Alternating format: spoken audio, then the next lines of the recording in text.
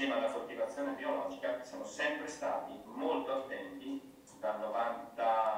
92-93 in poi a trasformare le nostre cose o a venderle direttamente come facciamo con le verdure. 2005 nel frattempo avevamo fatto la pasta, fallisce, sostanzialmente chiude il pastificio che è qui al paese attaccato, dove noi facevamo allora due o tre camion di pasta all'anno, non di più. Decide di rilevare.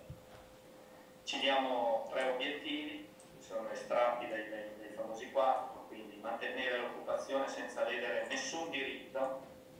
Io ho detto tante volte a Chiara che trovare il tempo di scrivere il libro su questo passaggio perché c'è da intervistare il notaio finché è vivo,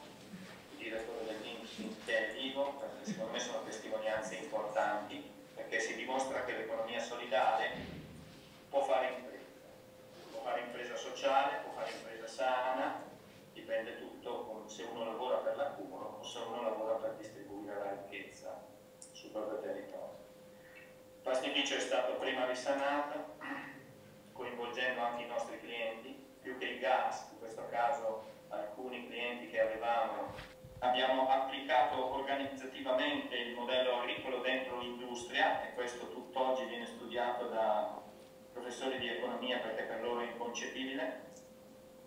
e sostanzialmente abbiamo cercato anche di far capire agli operai che potevano diventare molto importante e quindi abituati all'alienazione, credo. Infatti quelli che sono diventati soci sono i più giovani. Eh, molto importante non è stato leso nessun diritto, quindi una fabbrica che chiudeva, che era in difficoltà, eh, non è stata toccata tredicesima, quattordicesima, state pagate, pagate le ferie arretrate del vecchio padrone, stati pagati i debiti all'Inps, e da 21 oggi siamo in totale fra Calvardone incide a livello di volume il 40%, a livello di fatturato il 25%. Quindi sono due dati molto importanti ormai su svariati milioni di euro che crescono, devo dire, sempre, sempre, sempre. Per noi i gas non sono un mercato, sarebbe uno ha cominciato a riconvertire, adesso c'è proprio il nostro vicino, dopo un intervento che abbiamo fatto su una stalla per salvare una famiglia, il nostro vicino l'altra sera è venuto a cena e con la sorella riconvertiranno anche loro l'azienda.